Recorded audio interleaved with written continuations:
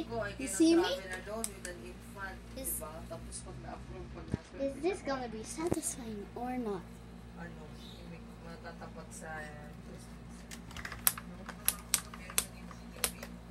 Subukan natin. Oh, okay. Yeah, you do it. business